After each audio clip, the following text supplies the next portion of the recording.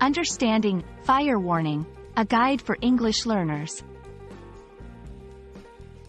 Hello everyone, and welcome to our English learning series. Today, we're going to explore the phrase, fire warning. This is a commonly used term in English, and understanding it can really help in both everyday conversations and in understanding news reports or safety instructions. So, let's dive in and unravel the meaning behind this important phrase. Fire warning is a phrase used to indicate a situation where there is a potential or imminent risk of a fire occurring. It's important to distinguish between a fire warning and a fire alert. A fire warning suggests a higher level of danger and urgency compared to an alert.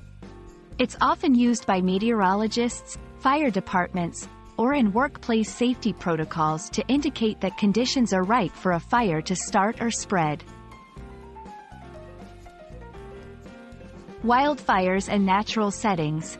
In areas prone to wildfires, such as forests or dry regions, a fire warning is issued when weather conditions, like high winds, drought, and extreme heat, create a high risk of wildfires.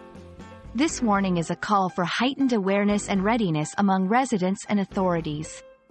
Workplace and public safety. In industrial or public settings, a fire warning could be announced when there's a significant risk of a fire breakout due to factors like hazardous materials, electrical faults, or other dangerous conditions. It serves as a preemptive measure to prevent potential fire incidents. Understanding how to respond to a fire warning is crucial for safety. Generally, it involves 1. Staying informed.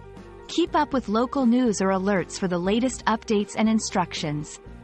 2. Precautionary measures. Follow any safety protocols. Evacuate if advised, and avoid activities that could spark a fire. 3. Emergency preparedness.